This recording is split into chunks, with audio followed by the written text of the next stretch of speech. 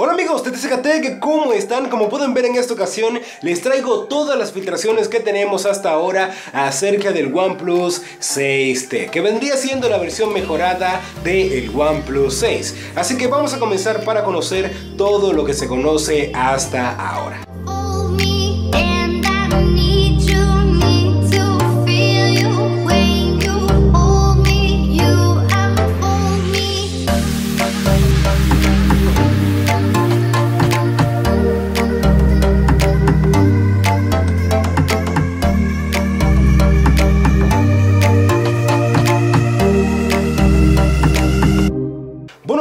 comenzar hablando acerca de un reporte que hizo CNET.com. Aquí debajo les voy a dejar el artículo para que vayan y lo lean, en donde podemos encontrar la fecha o específicamente el mes de lanzamiento de este dispositivo. Y algo que me gustó mucho es que en el mismo artículo dieron el precio en que va a venir este dispositivo.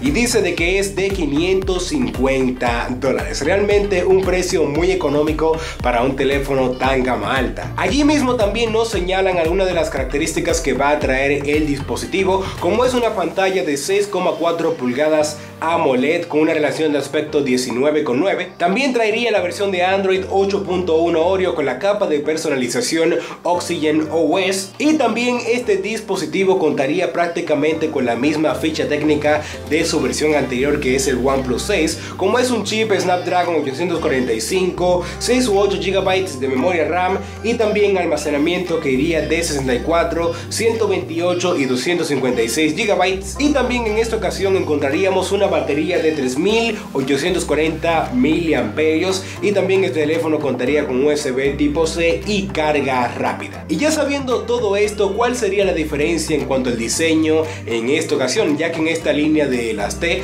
encontramos siempre una diferencia o una pequeña variación en el diseño. Y un render que me llamó mucho la atención que encontré hace algunos días me llamó mucho la atención ya que podríamos encontrar en esta versión del OnePlus 6 un notch que abarcaría mucho menos el espacio de pantalla y es nada más y nada menos que un notch tipo gota o tipo Essential Phone. Y ya en cuanto a la parte trasera de este dispositivo encontraríamos la cámara en posición vertical y debajo de este encontraríamos al lector de huellas dactilares. Pero un punto que no me gustó mucho es que debajo del lector encontraríamos el flash LED y creo que es un error de la persona que hizo el render o quizás es la misma compañía que podría incluirlo de esta manera. Pero realmente sí que es un fallo, ya que por ley el flash LED debe de ir o a la izquierda o a la derecha de la cámara. Y bueno gente, esto ha sido todo por este corto video informativo. Me gustaría que comentaras aquí debajo qué opinas tú acerca de estas filtraciones que han aparecido